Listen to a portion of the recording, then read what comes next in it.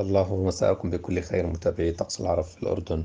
نبدأ نشرتنا بالتوقعات الجوية للعاصمة عمان خلال هذه الليلة حيث يسود الطقس الصافي مع 23 درجة مئوية الملموسة 22 والرطوبة حوالي 50% والرياح تكون خفيفة السرعة.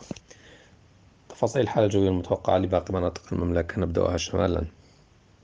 إربد رياح نشطة 30 إلى 16 المفرق 31 إلى 17 جرش 30 إلى 17 وعجلون 29 إلى 15 المنطقة الوسطى العاصمة عمان رياح نشطة 28 إلى 18 الزرقاء 31 إلى 18 البلقاء 31 إلى 19 مأدبة 29 إلى 18 والبحر الميت 37 إلى 23 المنطقة الجنوبية الكرك 27 إلى 17 طفيلة 30 إلى 18 الشوبك 28 إلى 18 معان 31 إلى 19 والعقبة 41 إلى 27 بالنسبة للمنطقة الشرقية رياح نشطة وأتربة مثارة في تلك المناطق. رويشد 36 إلى 20 الصفاوة 34 إلى 20 والزرقاء 35 إلى 20 إلى اللقاء.